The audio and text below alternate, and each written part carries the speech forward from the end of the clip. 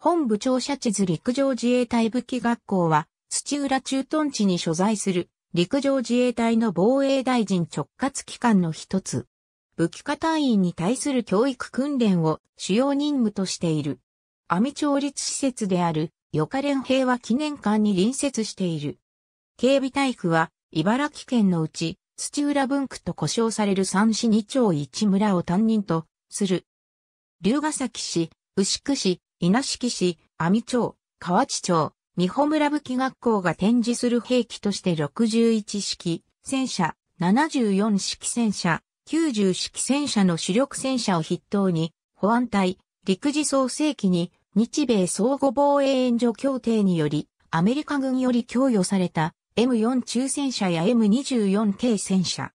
ソ連軍の JIS-376mm ヤ砲や M-42-45mm 対戦車砲、などを保管する。また、帝国陸軍の3式中戦車と89式中戦車を津型も収蔵されている。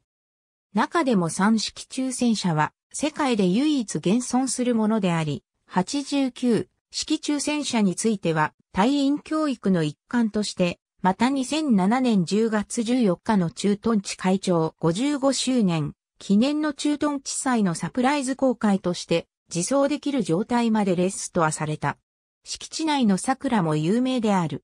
2018年3月18日には自転車レースアーミライドの会場となる予定である。ありがとうございます。